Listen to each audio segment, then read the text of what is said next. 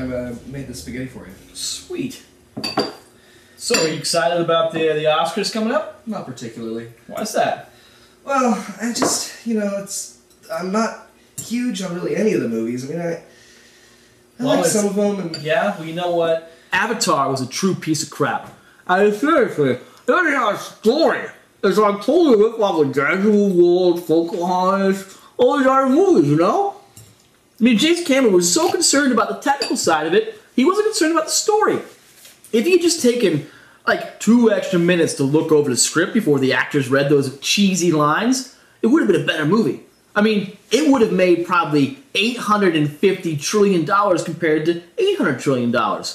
Well, I mean, as far as I'm concerned, as far as the Oscars go, that guy, um, Christoph Waltz that was in, um, Inglorious Basterds, he was very good. Who's Christoph Waltz? he did the uh, the um, the Jew hunter in in Inglorious Basterds. Oh, I loved him.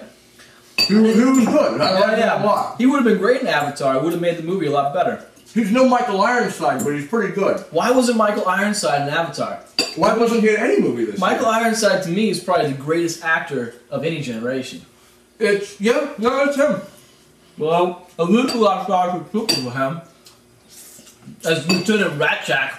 Rasczak's Roughnecks. Oh, love Starship Troopers, man. He was in uh, Total Recall, his arms got s- slashed off by the elevator, it was amazing. Oh, he was great in that, and he was also in this little known movie called Space Hunter Adventures in Forbidden Zone with Molly Ringwald. He was Overdog. Huh. Yeah, Overdog. And V. Ham Tyler. Remember that show?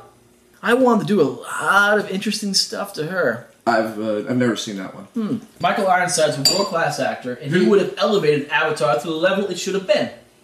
Seriously, the story? There's no story in Avatar. There's no story at all. And it's a total ripoff of like 16 other movies. Don't get me freaking started on it, Ben. How can I live with myself when there's a thing called Avatar that exists out there, Ben? How does it even happen? You're lucky the spaghetti's good today. The spaghetti saved everyone's life. I, I liked Avatar.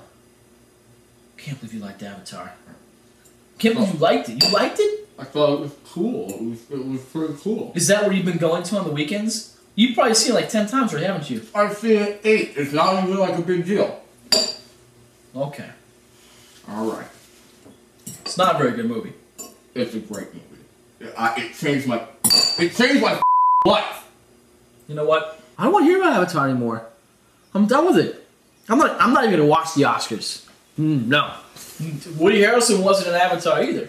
No, he wasn't but- one of the Na'vi. There's no way Woody Harrelson's gonna turn out like a blue guy in a movie. He's not Yeah, gonna sign up for that because he's a world class actor. But Christoph Waltz, he he could like four languages. Ben,